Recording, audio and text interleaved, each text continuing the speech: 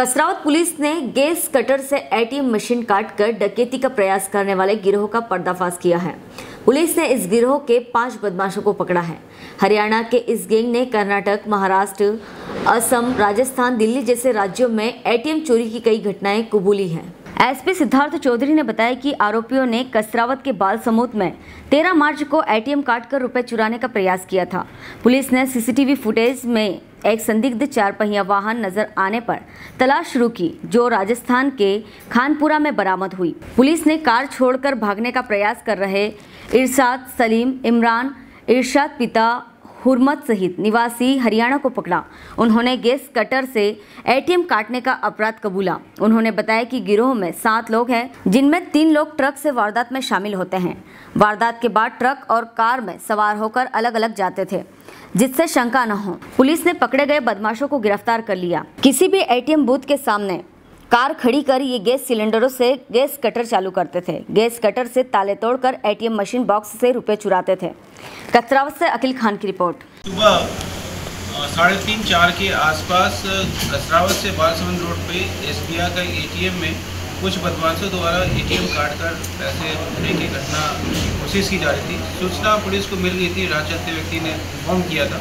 तत्काल ही मौके पे पुलिस की गाड़ी को देख के बदमाश जो है एक स्क्रेटा कार से भाग गए।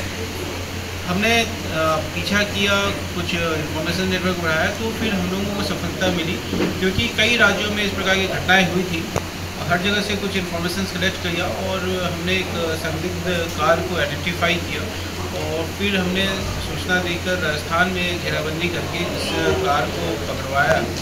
जहाँ पे हमें कुछ संदिग्ध लोग मिले थे, उनसे पूछताछ करने पे हमें चार व्यक्ति जो है, मेवात के रहने वाले, हरियाणा के रहने वाले हैं। उनसे जब पूछताछ की तो उन्होंने इस घटना को घटित करना स्वीकार किया और ये भी बताया कि उनके द्वारा राज्य के एमपी के अलावा अन्य राज्यों में भी घटनाएँ घटित की हैं, जिसमें मुख्य रूप से इन्होंने कर्नाटक, महाराष्ट्र, राजस्थान और असम में घटनाएँ घटित की हैं, जहाँ से कुछ जगहों पे इन्होंने काफ़ी अधिक मात्रा में रुपए एटीएम कार्ड के निकाले थे। इनके साथ एक ट्रक भी चला करता था, जो घटनास्थल से कुछ दूरी पे खड़ा रहता था और आवश्यकता पड़ने पर वहाँ पे वो लोग, वहाँ पे मशीनें जो गैस कटर्स वगैरह हैं, वो रखते थे और पैसे जो निकाले होते हैं, वो रख के उनको वहाँ से दूसरी तरफ़ भेज देते थे और ये खुद चारों पाँच व्यक्ति जो है अलग चले जाते थे।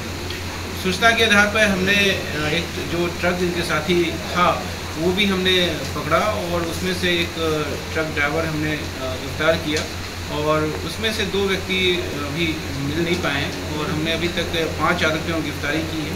उनके पास एटीएम काटने का औज़ार जब्त किया, एक क्रेटा और एक ट्रक जब्त किया है।